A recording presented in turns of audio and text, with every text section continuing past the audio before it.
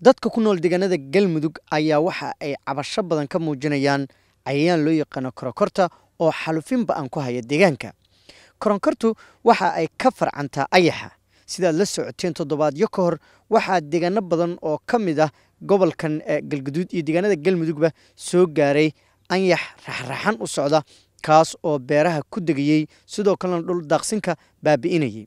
Dadka deegaanka waxay sheegayaan in cayayaankan haddan gadaasheeda ka muuqanaya ee ah koronkorada ay ka xaalufin badan tahay anyaxa. Waxaana ay sheegayaan in dooggii iyo naqii uu cuni lahaa xooluhu ay iyadu xaalufinayso. Soomaalidu waatay hore u tiraahdo ayaxtag eelna reeb. Waxay dadku sheegayaan in eelku uu yahay koronkoradan gadaasheeda ka muuqanaysa.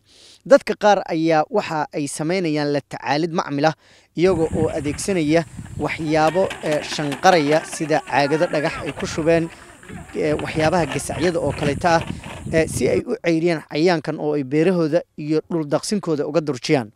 Meelaha qaar dadku waxay isticmaalayaan sun aan aad u badnayn oo aan xadigeedu badnayn oo ay cayayaankan khatarta badan leh ay markaasi kula dagaalamayaan xilligii hore dowladdii dhexe ee soomaaliya ayaa dagaal baan ku hei jirta ayaxa iyo korokorada oo deegaanka cadow ku ah.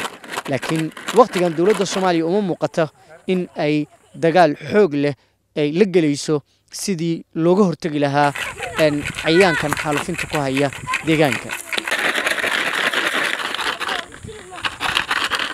Xasan shaqabukar shabelle t v dhuusamareeb